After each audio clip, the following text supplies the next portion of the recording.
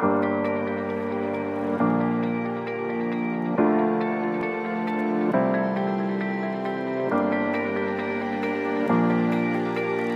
umum dapat kami sampaikan bahwa realisasi visi kita sampai dengan triwulan kedua ini masih sebesar 33,81 persen. Dan dari hal itu kita melihat beberapa OPD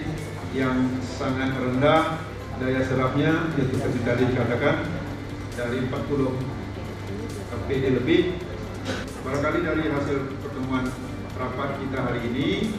nantinya eh, kita coba akan membuat rumusan solusi termasuk tadi